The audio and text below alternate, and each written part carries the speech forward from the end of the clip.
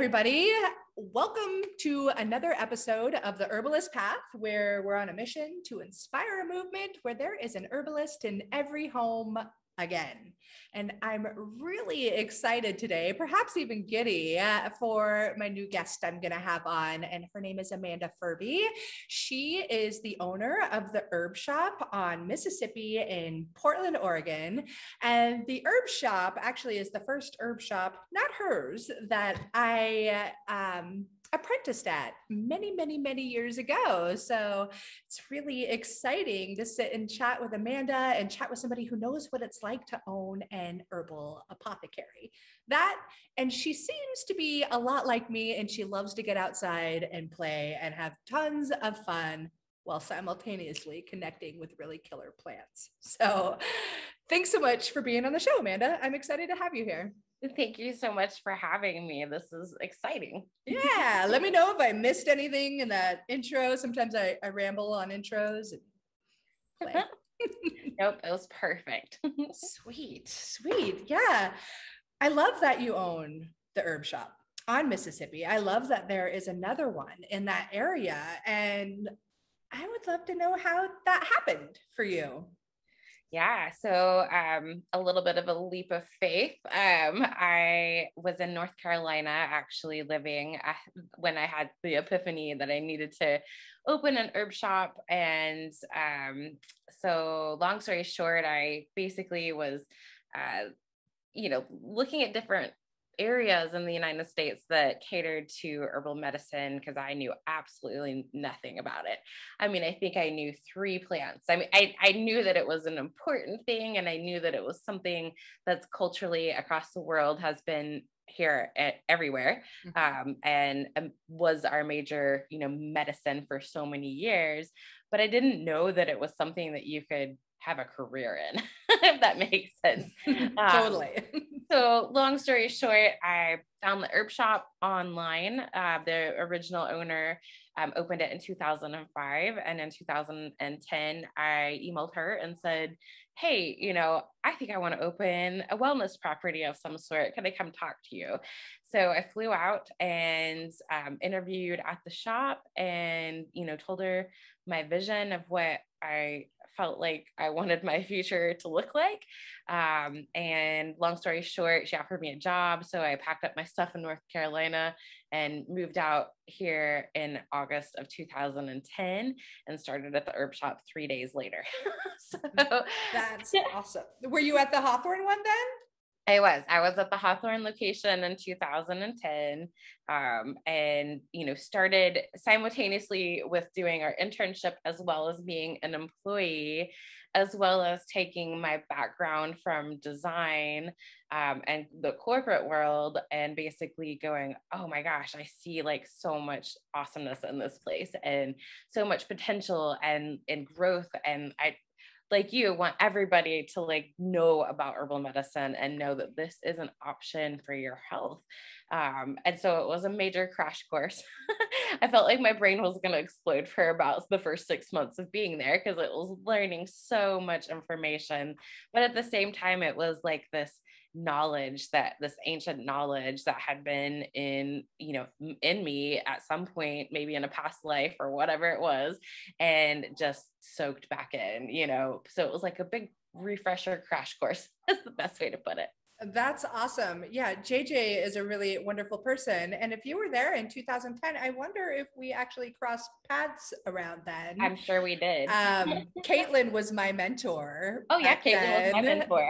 she was so much fun. Mm-hmm. She, she um, she's great. And it, I didn't realize she went back to Minnesota, I want to say, and then came back and now has an herb shop in the Bend, Bend. area. Mm-hmm. What mm-hmm. is the name of that shop? Do you know? Um, it just changed names, so I'm not sure what it's called now, but um, but I'm sure it's amazing. So I need to get her on the show just because I was out at Breitenbush last year or the year before, obviously not last year, um, yeah. and ran into a few people working with her, and I had no clue. And like we're hanging out, having fun, having all these conversations, and then like two days later we all make the connection and it was a really beautiful experience and exciting to hear for her and exciting yeah. for you so um Yeah. Wow. That's so fascinating to decide I need to open an herb shop without like a real formal background, I guess you could say, in herbalism. Um, that's yeah, exciting. I mean, it literally hit me like a lightning bolt. That it was like, you know, do not pass go, just go straight in this path. And my whole family thought I was crazy. They all are like, "What are you doing? You're leaving this, you know, your architecture degree to go to like work with plants? What?" But you know, 11 years later, they finally understand and and appreciate and totally like honor the work that I do, and that's really amazing. So that is mm-hmm. great. What would you mm-hmm. say is the most rewarding part about owning an herbal apothecary now that you've been oh man. I mean i think the thing that always comes back to me is just the amount that we're able to give back you know that the i mean there's so many people that come in and it it really truly feels like a sacred space as far as like the amount of information that is given to us from customers and then you know in return being able to turn around and help the community in a way in whatever way we possibly can and um, you know and give back. I mean it, it's this beautiful cycle that that you know i feel like most herb shops can relate to and it is super important to be yeah. able to do that Absolutely. I had my apothecary open for like a very short window of time. I learned a lot of lessons in business in that time. I do aspire to open it again, but even still, as it's closed and I still operate my product line out of this location, there's not a day that goes by that somebody isn't trying to come in and buy some herbs from us or what have you, or coming in and thanking me or writing me letters of like, oh my gosh, when you created X for me, it helped me so much. And yeah that feeling is is gold. It is. you know, you know people come to you at their wits end. You know, they're they're completely maxed out. They've gone through the system in a million ways and still have no answers. And you know, like I, from my perspective, almost always start talking about food and wellness and lifestyle even before I even get into herbs. But you know, I'll never forget this one story. This guy came in and I mean, he was just stressed, you know, like he hadn't slept in three or four weeks, you know, and just you could just see it all over his face. There was nothing that was helping him. And the very next day, he ran into the herb shop. It was packed with people. And he was just so excited. And he was like, Thank you so much. I slept last night. And you're like, wow, that's amazing. That's so awesome. You know, like you just yeah. like stop everything you're doing and are like, that that's why we're here you know like that's yeah. why we're here so absolutely I'm, I'm getting the chills as i hear you talk about that and i've had a lot of people also in the sleep department that are like holy moly i think that sleep is one of those things that people come to herbalists for might be one of the highest things. I'd Big love time. to hear.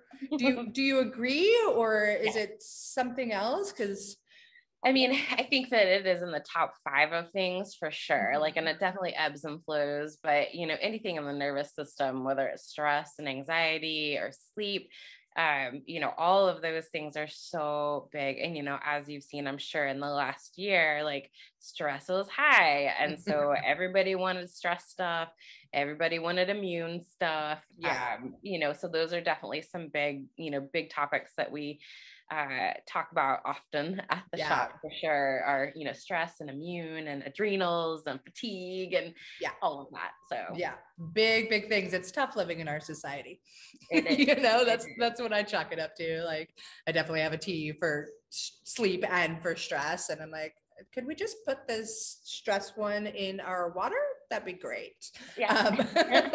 Because um, like we can all really use it. Yeah totally. Yeah if you remember, and you don't mind, you don't have to, but do you remember what you gave that guy to help him sleep so well in one night's turnaround? Yeah, it was valerian actually. And so, and you know, again, as I'm sure you know, like valerian is like one of those herbs that you always have to like let people know, like, hey, there's 1% chance that this might make you hyper. So, you know, it's mm-hmm. it's it's one of those and we had gone through that whole conversation. He's like, I'll try whatever. And I was like, okay, you know, like so I like to start with just one herb whenever you're working with people. So that way they can really feel the effects of that one herb mm-hmm. before really building like a solid blend out. So yeah, I think that one herb perspective is really, really important. As I go about like teaching people about herbs, like they immediately want to formulate, and I'm like, oh, you actually got to feel this herb and taste this herb and understand the way it works with your really unique body because all the plants are different and are going to have a different action or reaction to each person and um, to each condition within that person. So it just really gets complex. And I think that as as herbalism can be simple in some facets, the more you get into it, the more complex it is. Yes, um, yeah, absolutely. and you know, again, that kind of goes into teaching people to understand their own body. You know, like whether and again I, I like to start with food and you know start with your food source and and see you know what is it that you eat that really messes with your system or gives you a headache or makes your ears itch or you know makes you bloated whatever it is and and herbs are exactly the same in our in our internship program that we have now, we do a 30 minute meditation. And I tell every intern as they come in, you know, really, I want you to sit with one plant. I want you to sit with this plant. I want you to maybe drink some tea of this plant or do a tincture or even a flower essence if we have it, or look at the aromatherapy aspects before you ever pick up your phone or laptop or even a book. I'm like, I want you to just sit down and I want you to feel that plant you know and then you start understanding things like different properties like is it cooling or is it warming mm-hmm. um, you know is it something that is going to give you a gelatinous feeling or is it super drying you know all of those constitutions and properties of plants is really how you start to understand a plant and if your body likes it or if it doesn't so yeah, I think that is a really important process. And I remember doing that at the herb shop myself um, and really learning a lot in that way of just taking that time. Um, couple of things. One, can I backtrack on my internship at the at the herb shop and relate it to getting to know a plant and tell you a really funny story? yeah. so when I was there, Caitlin was my mentor. And I remember one day I'm in there and every day I came in and had to do, had to, got to do a meditation with the plant and whichever plant I chose. And there was one particular day where Caitlin was working away and she had started talking about skullcap. And she's like, Oh, skullcap, I love it. It just goes straight to my head. And I was like, Oh, straight to your head. Skullcap must make you really, really smart. And like fast forward a little later, and I'm going through clinical herb school and we're doing monographs on whatever plants we choose. And I decided I'm going to choose skullcap. That'll be great because then I'll be really smart for the rest of my herb school. and, and I grab my books and I grab my tincture and I have a tea and like I've, I've got everything I can to really feel this plant. And I'm sitting in my backyard and I'm like starting to read about it, and I take a little tincture of this skull cap. It's a beautiful, warm, early summer day, and I take the tincture, and I'm just like, oh, yeah, it's a nice day. It's so pretty out. I just don't feel much like writing though. Huh. Yeah, I probably really need to take more of the skull cap so it goes to my brain more. so I do. and I'm just like, yeah, it's nice. and I'm like, okay, open a book and read about this plant. And and I open a book and I'm like, oh goes straight to her brain and is sedating. Yeah. Uh-huh. Caitlin's a very energetic being. So mm-hmm. that was one of my fun experiences of actually like sitting and being with the plant. And I think it goes to show like today on the internet, there's so much information out there, and not all of it is great information. As a matter of fact, a large portion of it is not. Yeah. And you can go online and read, like, oh, so and so said that skull cap goes straight to your brain. It makes you really smart. but if you don't take the time to actually interact with that plant, you're never really going to know what it does. Oh, absolutely. You know, and that also like kind of leads me to taking too much of a plant, you know. I'm, I'm like the queen of like accidentally taking too much of something. And I've learned a lot of really valuable lessons with I am guilty of that. yes. Well, and I think that is like our society and our culture that we think that we need more of things. Mm-hmm. And instead of just starting with like the basics, like you think, oh, one tablespoon of mugwort, like that's not that much. And the next thing you know, you're up all night having lucid dreams like crazy and can't get out of it. And you're like, maybe I should have only had one tablespoon of mugwort instead of two.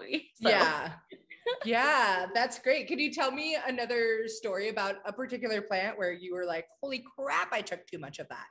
Yeah. Um, so I, and this wasn't even an internal taking of a plant. So, like, I love to tell this story.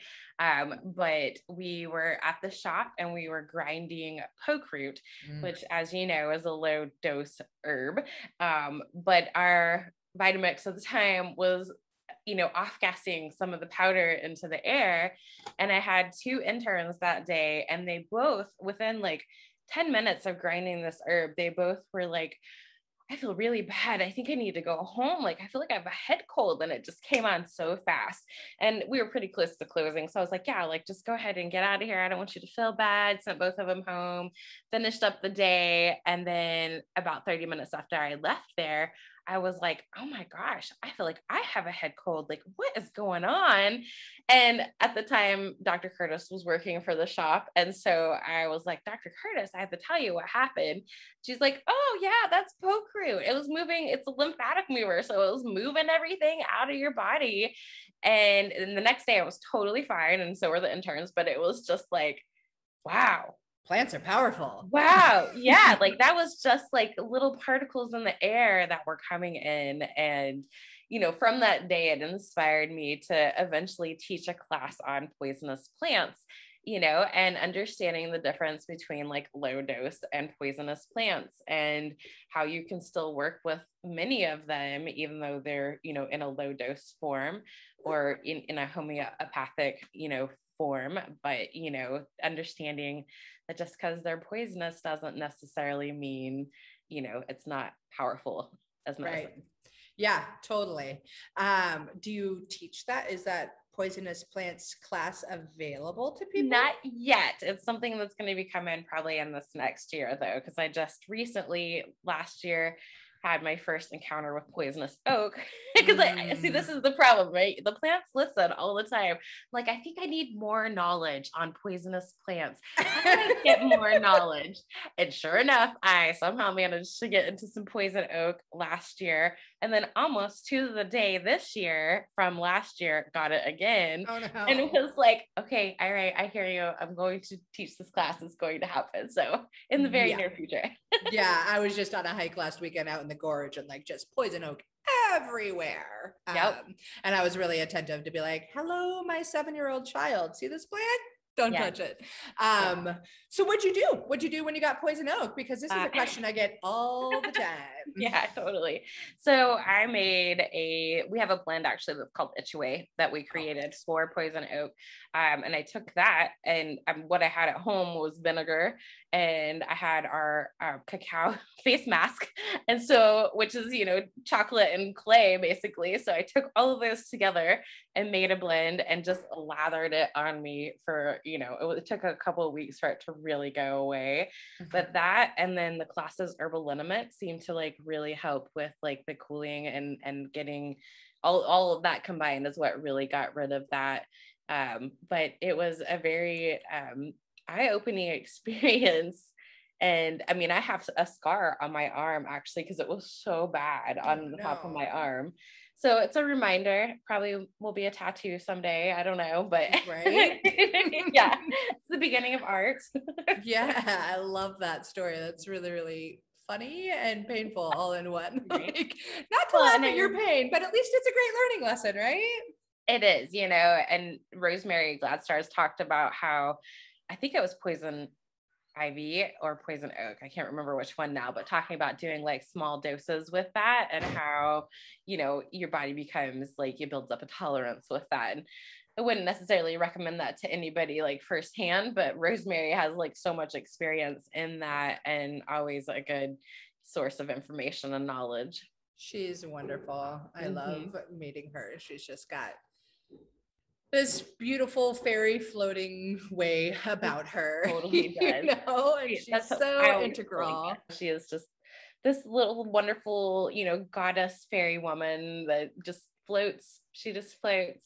She's really wonderful. And she tasted my tea at one of the last Breitenbush things she was at and she loved it. And I was like, oh my gosh, I'm not a fangirl type of girl. yeah. But at that moment, I was yeah. like, she likes my tea. yes. And I feel like Rosemary is the only person maybe on the planet that I feel like starstruck with every yeah. time I see her. And just like amazed that she remembers me every single time. Yeah. Like, how do you remember all these people?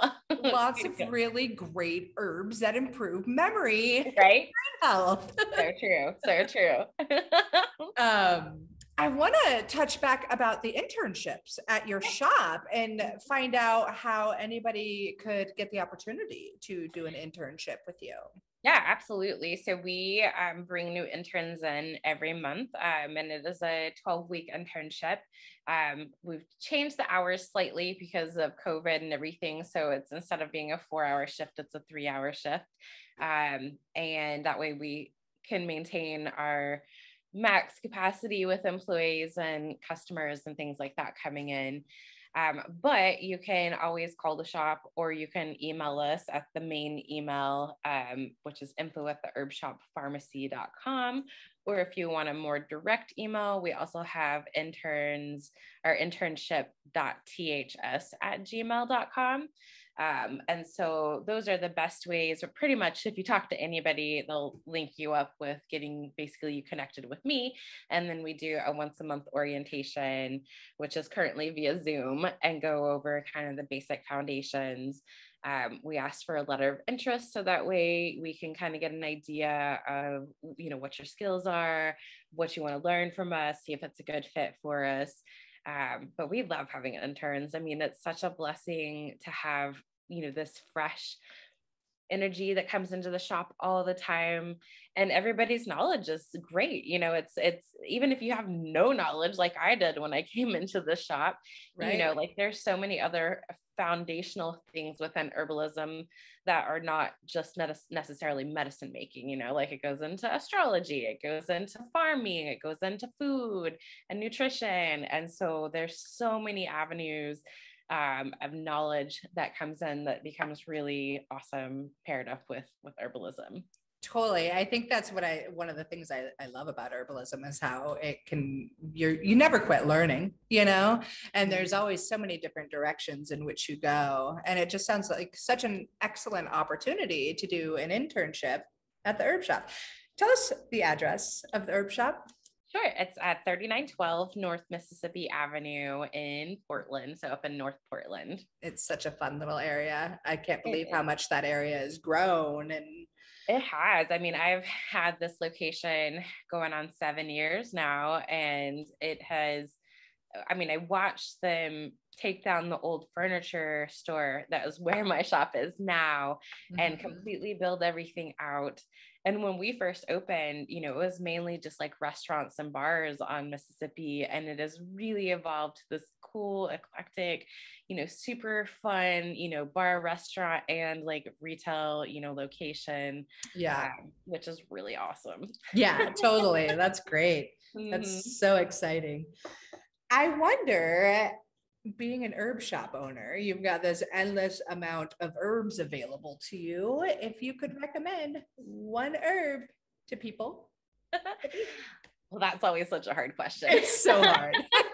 and I've been thinking about this, and and I think you know the one plant that at this moment keeps coming up for me is dandelion, because dandelion is everywhere, and dandelion is not only nutritive but so great with you know the leaves and the roots and um, and making wishes. You know, like there's, there's so many things that dandelion offers, and it's so often overlooked as um, a weed that we should just pull out of our yard and get rid of. But yet, you know, it's food, it's medicine, it's magic, it's all the things.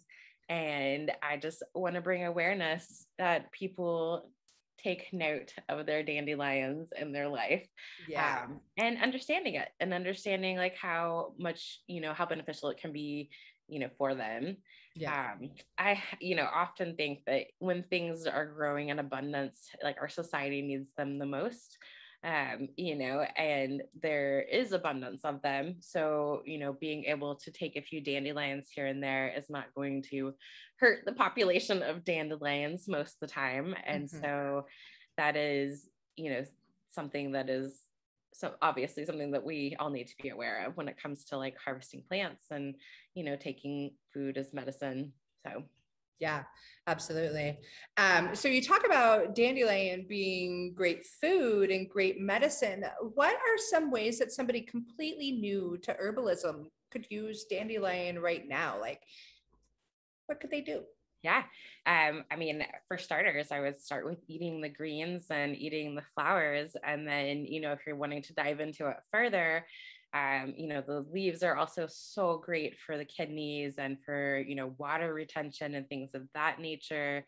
And then of course there's the roots that go into like a blood purifier with your liver you know so if you're running hot like it's a great cooling you know herb that can help out with with um, you know with with basically helping to cool down the body if if you have inflammation or you know whatever it might be i don't want to get in like throw too many uh, like ideas Right. I was like, oh, we're, but- we're sticking with beginners. yeah yeah totally i'm like i don't want to dive too deep but just an awesome plant you know and and just starting by eating it is so important with the bitter properties that are in there How would they eat it? In their salad or they could saute it or they could even make some pesto with it um, which is one of my favorite things to do with dandelions and nettles of course um, Yeah. so i think that that is you know some really simple methods um, i also really love to do like a vinegar infusion with dandelions like i really have gotten very much into vinegar or oxymels um, infusions. And I, you know, oftentimes I'll take all your basic spices, you know, like oregano and thyme and dandelions and make a beautiful blend. And then you can make it into a salad dressing or Yeah. use it as a soup topper or whatever it might be. And I think that's been one of my most valuable and beautiful lessons getting into herbalism is really like how do we incorporate food into our herbs and, and into our regular food? So it's not necessarily like I need to take my medicine. It's like, oh, it's part of my my ritual, part of my my diet and who I Yeah. am. Yeah, it's really so true. And there's like our common culinary herbs, there's so much medicine in all of those. And I think it's forgotten about in our society. Um, and that's really a shame because there's some of our, it's really funny as you like look into the history of it and cooking and what herbs were used as preservatives and, and how that all melds together to be some really powerful and delicious medicine. Yes, that is to this day one of my biggest dilemmas whenever I divide up the store as far mm. as what our bulk herbs are versus Yeah. our culinary herbs. Oh my gosh, it drives me crazy because I'm like, but it's medicinal too. I don't know. You know, it just becomes this mind boggle in my head as to how I should organize things. maybe go culinary herbs, but they're Yeah. medicinal too. yes, exactly. You know, and then just put what people typically buy in the grocery store as spices. Yep, and that's kind of what we do, but it's just so funny to like in my brain. I it's kept me up at night, like literally going, but it's still medicinal. Is it really culinary? You know, like just Yep. the simple things. it can so much be the simple things. I love that. Mhm, I love that mhm. about it. Hey, you talked a moment about bitters in dandelion. Do you want to tell people what the heck bitters do? Because nobody wants anything bitter in their mouth these Uh, days, right. right? yeah, I mean, bitters are amazing. You know, it's basically going to help with stimulating our digestive tract that keeps everything moving along and keeps, you know, our whole body really regulated. Um, and so, you know, there's luckily there are so many bitters out there. You know, you can obviously do dandelion, but there are varying levels of bitterness with with plants and depending on what you actually need you know i feel like bitters you know they, they hit your palate of your tongue and then they kind of go through your body and get you ready for digestion you know which is where so much of our society it gets stuck because we're constantly just like eating, eating, eating. Literally stuck. Yeah. Yeah. Like, yeah. like everything's stuck, right? That's why we have so many problems and and you know not only in our digestion but it obviously escalates into so many other health issues across our society with how we eat and what we eat and all that kind of stuff that just taking a few bitters before you know you know you're going to eat that pizza or whatever it is you know yeah. then that can really help to like move that process along and regulate things and keep things moving so yeah awesome thank you for that explanation yeah. just in case anybody was wondering like wait a second i don't want anything better but no you really do yeah you know and i also get really um I, I, mean, I love the history behind like sugar and, and, bitters, you know, in our society and going like way back to the Industrial Revolution when we had all these sugars that came into like all the processed food and all that kind of stuff, and how bitters got removed from our food palate, right? And yeah. so now there is this awakening to like remove that, and the more bitters you have, the less you crave sugars and the less yeah. you want those sugars in your life or need those sugars in your life. And that is awesome. yeah, because sugar is the devil. It so is. I mean, talk about terrible. serious brain fog and Ugh. like, you know, it just and it's so addictive. It is. I mean, it's it's worse than heroin, that's for sure. So mm-hmm. And those darn food manufacturers know it. and you and I mean it's crazy to watch them cater it to, you know, children in every capacity. And, you know, it's it's really hard to keep sugar away from children in this day and age without being like the bad person, you know, and it's like, yeah. you know, really learning to introduce other types of like healthier sugars like from fruit or from honey or maple syrup or whatever versus like here's yeah. processed sugar. So. My child did not have any refined sugars until she went to preschool. Yeah. and sure. then it was like Halloween, and my daughter comes home with Kit Kats, and I'm like, what? and then Nana was like, oh, floodgates are open. Here you go. And I'm like, wait, wait, wait, you guys. Yeah, I know. this is a real thing. I know you may have like have put tons of sugar in your body and you're still alive, but that doesn't mean you're healthy and alive. Like, okay. Yeah. yeah. Well, and I think for those beginning years of life, like it's so important because, because of the brain fog you get from sugar, you know, like they're in that fundamental development stage where they're learning so much mm-hmm. and having clarity is really important. I mean, yeah. all through life, it's important, but like, right. especially through those, especially in those. Mm-hmm. Yeah, for sure. Um, Okay. You have an herb shop. I bet you also have books in your herb shop. We do.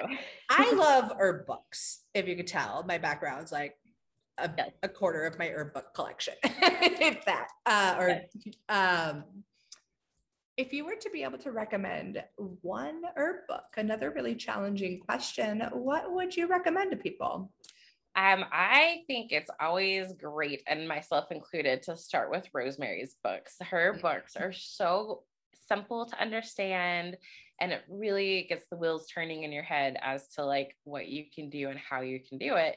Um, and I mean, again, I always feel like it's my my cute little grandmother that's reading to me and you know telling me and explaining these. So I think that any really any of her books are such great like fundamental foundational books to get started with when it comes to starting in herbalism. Yeah, she's really great. There's some of my first books for sure. So perfect. Kind of an easy answer on that one. A little bit easier than the one plant thing. yeah, totally. Well, I mean, and mine are very well loved. Like you go through the pages and there's stuff spilled everywhere, you know, or whatever. So they've been well used and well loved. Awesome. I love that. Her books are fantastic. They're really, really, really great starting point. And even today, after however many years I've been immersed in the herbal world, I still love her books. So timeless for sure. Um, I want to go back to talking about your shop, and I heard a little word that you are having some new products come available at shop in oh. Portland, and they are likely to be significantly better formulations than what you see in all the hype world of this particular plant you're going to use. Well, I think wondering if you can tell me a little of that. yeah, I mean, so we've spent the last four and a half years completely completely redoing our product line, um, which has been really awesome and wonderful to get in there and do all those things. And it's not just me that does it. I want that to be like well known that it is some it is a collective i operate my shop you know as if it is a collective unit and everybody that wants to be involved with things like formulation is so that's been really beautiful and special to like see and to incorporate and all those things. Formulating but, is one of my favorite things to do. Oh, me too. Like it's so totally much fun. Yes, yeah. it is. You feel like the mad scientist there with everything. Um, but with that being said, I have we have started the journey of introducing CBD into some of our beloved products at the shop, and so we will spend this whole year um, launching a new line of CBD products that will be beautifully formulated with, you know, the, the herbs that are good to um, relate to CBD, that are good for, you know, being in corporation, you know, with CBD and making that formula really valuable. Yeah, that's awesome. Because uh, that's really exciting just because there are really, there's so many crap CBD companies out there. And I think, you know, CBD, that plant, the whole cannabis plant is amazing and chock full of all kinds of medicine that really dances well with so many other herbs. So it's a it's a fun little area. I'm glad to hear another herbalist doing great work in that. Department. It is, you know, and it's really special to get to work with this plant that's had like all this hype, but bring awareness to the, the world that there's so many other plants too that like work really beautifully with CBD as well as like on their own. Yeah. Um, and you know, I think that you know within most of the CBD companies that are out there, there's not really an herbalist perspective to those products. And so to be able to take that, to formulate that, mm-hmm. to use the full plant, you know, like that's how we are trying, that's what we're doing with our, our products is actually yeah. using the plant versus taking an isolate powder or taking a distillate, you know, like yeah, that's like because there's so many properties, like you say, that come from that plant. It's not just this one thing that's been yeah. extracted and to me like that's a different thing than what we do in herbalism like we want to work with the plants. Yeah it's a beautiful process. So that's exciting that that's going to be available. Um and it'll be available in your storefront. Maybe later down the road it'll be available online? Correct yes. Um, as of right now we have um, just a simple oil base. And we also have an alcohol extraction. And then in the next week or so, we will have four new oil blends that you Yay. can use topically. Um, and then we'll have lots of other stuff that's coming. So exciting, super, super fun. And you have other really exciting things for people that maybe want to start learning how to make their own medicine. Word on the street. Yes. Tell absolutely. me more about that. so, when I got into herbalism, I just fell in love with making products. You know, like for me, again, not really having much of a medical background or understanding of the body and the systems, like I really fell in love with skincare products. You know, I was like, I want to know how to make everything. I want to know how to do anything that goes on my body, which then obviously escalated into anything that goes in my body. Right. Um, and from that kind of birthed this idea of uh, make your own series. And so the Make Your Own Product series is 10 classes that are extended over a three or four month period, depending on when they're being taught. Um, and it teaches you everything. It teaches you all the basics from tincture making to skincare to food as medicine and everything that you can imagine in between that we we go over and touch on and so we will be doing that in starting in september of this year um, we took a little break with COVID, but now we're getting back to it. And so it will be an online platform. And you also have the option of us shipping your pro- those products that we make in class to you, um, which will be really exciting and fun for you to have that hands on. Super fun. That sounds really awesome. As a product maker, you can imagine I also love making products. So um, that sounds really, really great. How can people find out more about those classes and get all signed up because this is going to be available to all of our listeners. Yeah, absolutely. So you can go to the website and you can just type in the make your own product series or just make your own and it'll pull it up and so you can get registered there. Um, the or, website. Tell me about that. Yeah yeah, so the website is the herb shop, and that's S H O P P E pdx.com. Um, and so you can go on there soon. It'll also be linked onto our event page, but you can go to the search bar under um, our shop page and also find it there. Or you can call the shop and we can get you signed up that way or email. Again, kind of whatever whatever method works best for you, we can definitely accommodate. Um, and and until the end of July, it's on it's a hundred dollars off. So Ooh, nice. if you're gonna get signed up and save some money, that would be the, the the ideal time to do that is to get signed up before July. And who doesn't love saving money? yeah, right? everybody. right, right. That's awesome. Thank you for sharing that. I hope uh, I hope some people dig in on that because I know that's going to be a really really fun fun series. It is, you know, and we'll send the information in advance too. So if people want to buy it and make it with us, then that is also a really fun way nice. to do that. So yeah. Mm-hmm. Awesome. Sounds really great. Mm-hmm. Um, okay we're going to start wrapping it up but i want to know is there anything any like really great words of wisdom you would care to share or think is important? You don't have to say yes um, that you would want to share with somebody who's just beginning their journey down the herbalist path yeah i mean i think that um, follow your dreams and listen to your intuition are probably the, the key statements in herbalism because the more we do that, the more in tune we become with our true path and where we're supposed to be. Um, so don't ever let anybody tell you you can't do that because that is, you know, th- then you're denying yourself, you know, you're denying your own path. And like many of us, you know, we've all denied our own path for years until we land on that path. And then all of a sudden we're like, oh, why is why are all the doors opening up? And like, why does this, this makes right? so much sense? yeah, yeah, exactly. You know, so no matter how much knowledge you have or don't have with what your guides and your intuition are telling you, follow it and don't let anybody stop you. Yeah. Boom. love that. Love, love, love, love, love that. That's great. Um, cool. Thank you for joining me for this. Absolutely. One more time, I want you to let everybody know how they can find you, whether it's your website, your social media, or what have you. Absolutely. So you can definitely visit us in person at uh, 3912 North Mississippi Avenue here in Portland.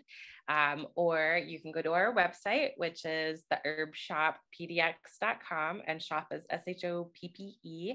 Um, and you can see the majority of what we have. We don't have CBD on there yet, but you can definitely see the, the majority of our products and events and practitioners and things like that online. Um, or you can follow us on Facebook or Instagram um, and see all the greatness that's coming out. So, heck yeah. And then Facebook, Instagram is at the Herb Shoppe. It's the mm-hmm. Herb Shoppe PDX, I believe. We just nice. kind of changed that. So, yeah. Cool. We'll link to it in the show notes no matter okay. what. But some people don't want to look at our show notes and just hear it, and they're smart enough to yeah. remember it. I'm pretty sure they're both the Herb Shoppe PDX at this point. So awesome. Yeah, I've had to go through numerous changes in that department. Like, oh wait, that one's not so easy. Yeah. um, the lessons we learn as business owners and herbalists and humans. yes, exactly. Awesome. Thank you so much, Amanda, for yeah, joining thank me. Thank you for having me. And I hope you have a brilliant day. You too. Bye. So if you love learning this kind of stuff, join me over in my Facebook group, The Herbalist Path. You can tune into my podcast, The Herbalist Path. And yeah, here's to making much more great medicine. Be sure to subscribe to my channel, hit the like button if you like the video, and share it with your friends so that together we can make herbalism spread like wildflowers. Bye.